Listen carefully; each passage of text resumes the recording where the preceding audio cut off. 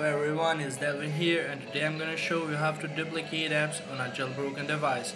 As you see here, I have a duplicated WhatsApp. We need AppSync Unify for iOS 10. We can install it from Karen's repo. Let's get started. Go to Cydia, click on Sources, Edit and click Add.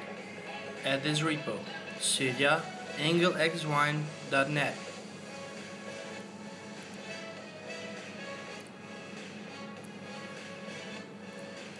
Look for AppSync Unified for iOS 10. It's on beta stage.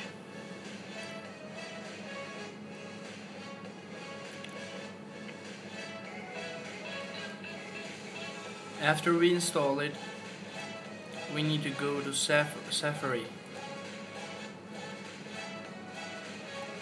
Open duplicatorstore.com.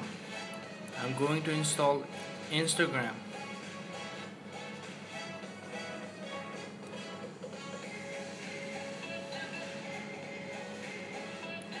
Click on install.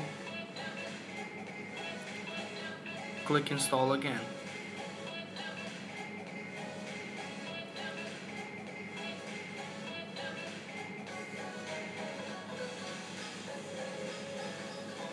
As you see here I have duplicated Instagram. Thumbs up and subscribe